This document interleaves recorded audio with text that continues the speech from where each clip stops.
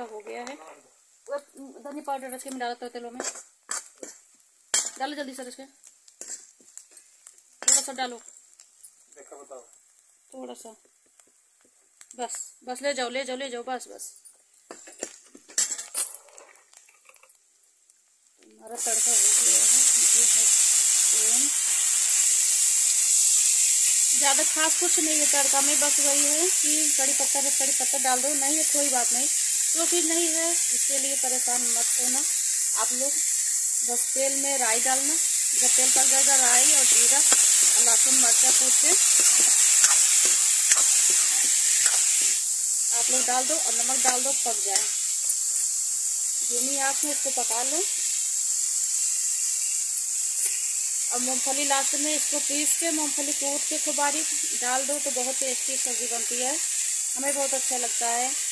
तो हम ऐसे बनाते हैं। चोखा नहीं चोखा नहीं अच्छा लगता है। कोई नहीं खाता ज़्यादा। तो तो यही हम, अम्मा बोली कि यही बनाओ।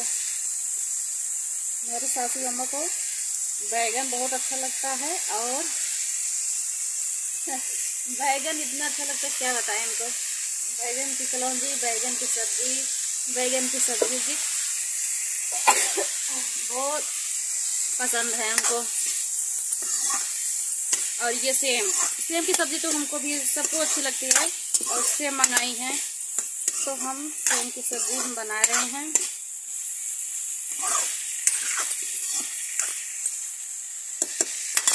तो अब इसको हम नमक ढाक देंगे, नमक डाल के। नमक है, स्वाद अनुसार। डाल दो।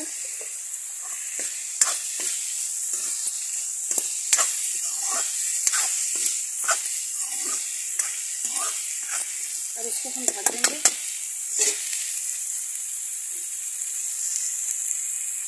इसको हम ऐसा ढकेंगे कि जहिया मतलब खूब अच्छे से ढक देंगे, ढक्कन से कि भाप से पक जाए, जल्दी से। तो फ्रेंड्स कैसे लगा हमारा वीडियो आप लोग ज़रूर देखिएगा और बताइएगा। तो ये है दाल और ये है चावल। अभी रोटी बनाना रह गया बाकी। ये है दाल। अभी दाल फ्राई करेंगे। अभी फ्राई नहीं किए हैं। तो ये हमारी दाल है और सब्ज़ी बन रही है। तो सुबह नाश्ता हो गया था, चाय वाय, ब्रेड व्रेड लाए थे तो बन, चाय वाय, ब्रेड खा लिए थे। तो अब खाना बन जाएगा तो खाना खाएँगे। और आप लोग भी सब्ज़ी ज़रूर ट्राई करिएगा। तो फ्रेंड्स, अगले वीडियो में फिर मिलते हैं, तब तक के लिए बाय बाय।